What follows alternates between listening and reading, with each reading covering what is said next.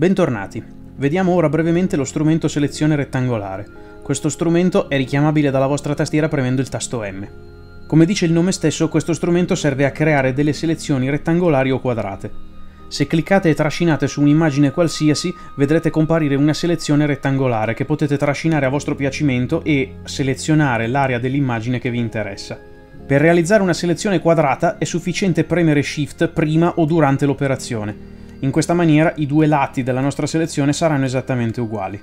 È importante a questo punto rilasciare il nostro mouse con ancora Shift premuto perché altrimenti la selezione torna a essere rettangolare. Nel caso in cui noi volessimo far partire la nostra selezione dal centro del nostro click è sufficiente tenere premuto il tasto Alt e la nostra selezione partirà dal punto in cui abbiamo premuto e il suo angolo terminerà nel punto in cui lasciamo andare. Queste due operazioni possono anche essere sommate, è possibile premere Alt e Shift contemporaneamente, in questa maniera io avrò una selezione quadrata che parte dal punto in cui ho cliccato.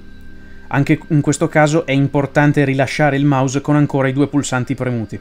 Una volta che abbiamo fatto la nostra selezione, possiamo cliccare esternamente alla selezione e disattivarla se abbiamo sbagliato o se non ci serve più. Possiamo invece cliccare all'interno e trascinare se la vogliamo muovere, senza modificarla.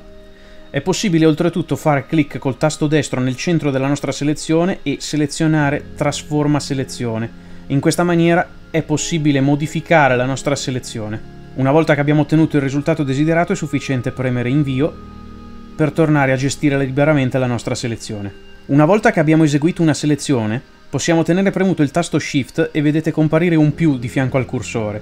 In questa maniera qualunque selezione andiamo a fare verrà sommata alla selezione che abbiamo già fatto. Se invece vogliamo sottrarre, è sufficiente che teniamo premuto il tasto Alt opzione, vedete comparire un meno di fianco al cursore. In questo modo, qualunque cosa selezioniamo viene deselezionata.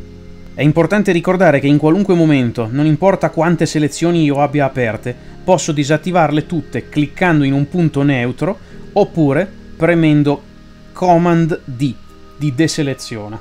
Spero che questo video vi sia stato utile, cominciamo ad addentrarci nei meandri di questa meravigliosa applicazione e rimanete sintonizzati per saperne di più.